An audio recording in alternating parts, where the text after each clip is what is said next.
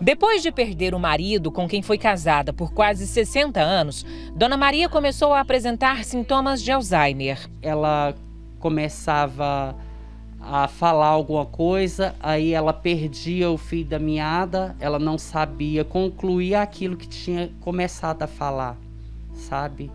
Então, assim, ficava aquela coisa vaga, né? E então aí foi quando é, corremos atrás para saber realmente o que estava havendo, que foi a descoberta do Alzheimer. Ela teve oito filhos. Érida abriu mão de tudo para morar e cuidar da mãe em tempo integral. Dona Maria reconhece o que a filha faz por ela. Faz comida? A comida, Dá banho? dá banho, E amor? amor. É? Ela Tem muito amor aí? tem. Mesmo com tanto amor, Érida não consegue dar uma qualidade de vida melhor para a mãe. A casa onde elas moram foi comprada há 30 anos e nunca passou por uma reforma. Hoje tem rachaduras em todos os cômodos e ameaça cair.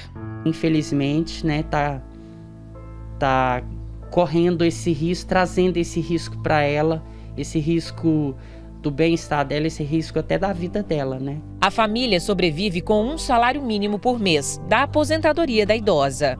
Além de todos os problemas estruturais da casa, com os quais a família não consegue arcar agora, porque realmente gasta-se um dinheiro muito pesado, né, um investimento muito grande numa reforma, existem os outros problemas que são pequenos, mas que para a família acabam se tornando grandes. Por exemplo, só de medicamento, mensalmente, são quase 400 reais. É uma boa parte da aposentadoria da Dona Maria.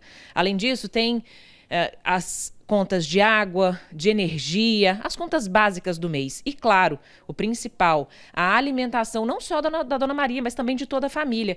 Aqui na geladeira, ó, tem um restinho do jantar de ontem, um pouco de leite.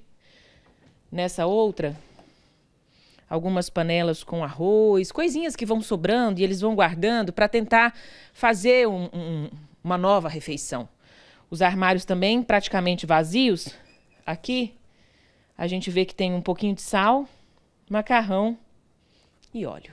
A família precisa de ajuda. As pessoas que tiverem é, o desejo no coração de estarem nos ajudando, é, será muito bem-vindo. É, questão de fralda descartável para ela, uma carne, porque já chegou é, vez assim de eu tirar o ossinho da carne, dar a carne para ela e roer o ossinho. O que mais dói é eu não ter a possibilidade mais de trabalhar para dar um conforto que ela merece, para dar a vida que ela merece.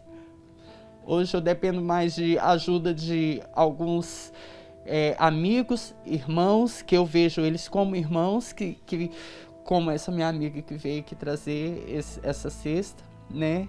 Então hoje eu dependo disso, porque não tenho mais possibilidade de estar trabalhando para cuidar dela, como ela merece.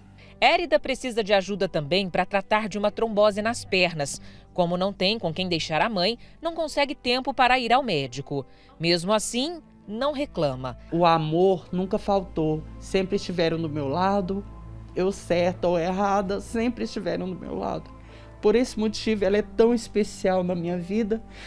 Por esse motivo, eu quero sim cumprir a missão de ficar com ela até os últimos dias dela aqui.